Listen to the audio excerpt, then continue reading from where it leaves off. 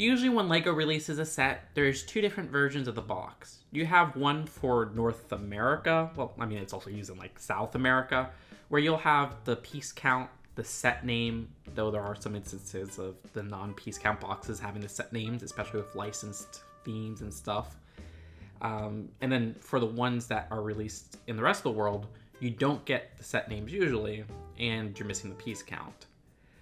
Well, LEGO is doing something with Animal Crossing that I've never seen them do before that's actually kind of cool. It's not like a decision that will make this something that you should buy, but still I find it fascinating. And that's in Japan. They're making exclusive boxes for LEGO Animal Crossing. Specifically, it'll have the Japanese logo and some Japanese text on it. I've never seen them do this with any other theme. Stuff like even LEGO Super Mario, which is a Japanese property, didn't use a Japanese logo. But then again, Super Mario in general doesn't use Japanese text, even in the releases in Japan. So that's not surprising. Honestly, part of me low-key kind of wants all the Japanese boxes. That Japanese logo just looks so freaking cool. Can you blame me? Anyways, let me know what you think of this small but cool detail for the LEGO Animal Crossing Japanese boxes.